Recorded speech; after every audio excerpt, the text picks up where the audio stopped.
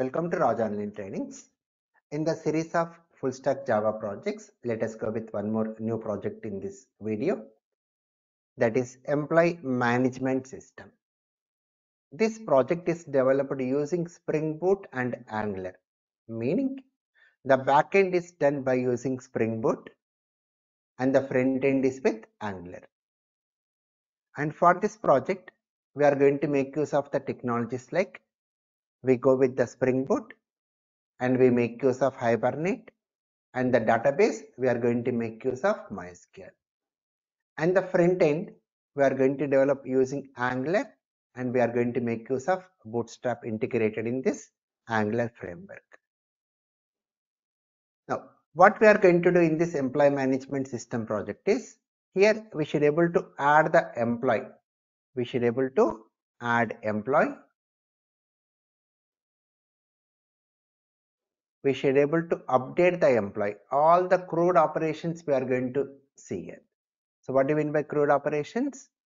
We should able to create means add the employee insert employee update employee delete employee and get the employee list. We, are, we should able to get the list of records present in the employee table. So we should able to add employee we should able to update employee update employee we should able to delete the employee.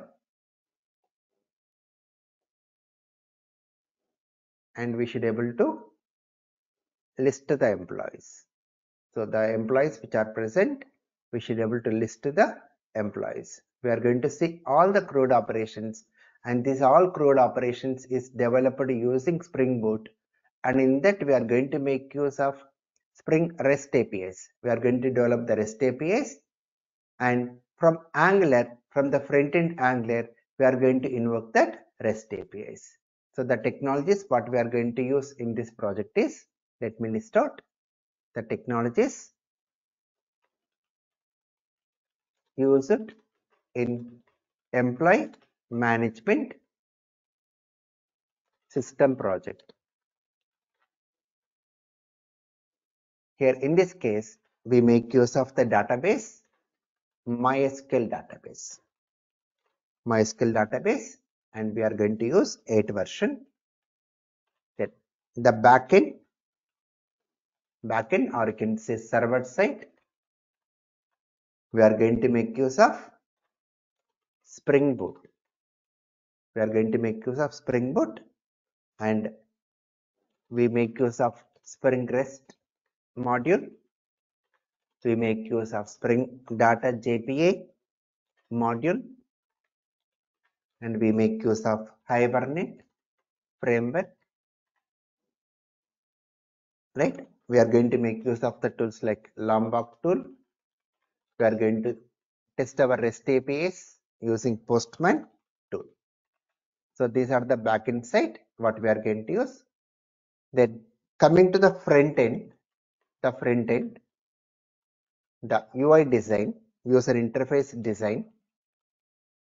For this user interface design, we are going to make use of Angular framework. We'll make use of Angular framework and we make use of Bootstrap. Bootstrap. We are going to make use of Bootstrap. It's a CSS library. What is this Bootstrap? It's a CSS library so we are going to include this bootstrap library into our Angular framework and we are going to develop the UI design, UI design by using this bootstrap. And in this Angular framework, we are going to make use of HTTP client module.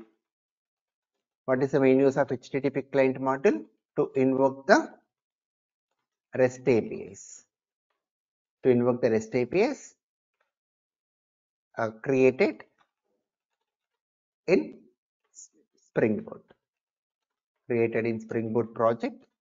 We are going to invoke this REST APIs using this HTTP client module from our Angular framework. So these are the technologies what we are going to use in this employee management system project. Now let me run this project and show you how this project looks. Let me run this. Already we have open this browser and type the localhost 4200. This is the URL what we are going to use to run Angular project. So this is the front end part. And here you can see the contingency employee management system. And here we should be able to list the employees. See when we click on this employee list here we are able to see the list of employees. We should be able to add the employee. We should be able to add the employee.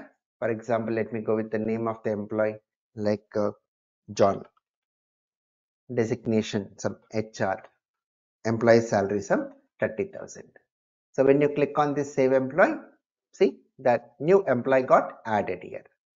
Let us add one more employee. Go with the employee name mary employee designation programmer